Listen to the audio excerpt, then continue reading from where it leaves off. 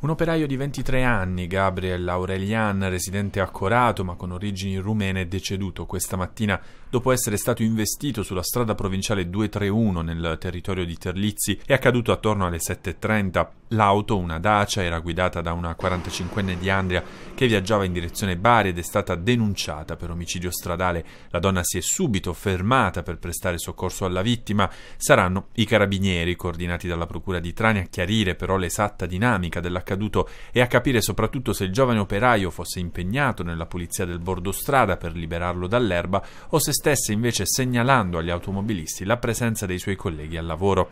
La salma del 23enne è stata trasportata all'Istituto di Medicina Legale del Policlinico di Bari ed è a disposizione dell'autorità giudiziaria.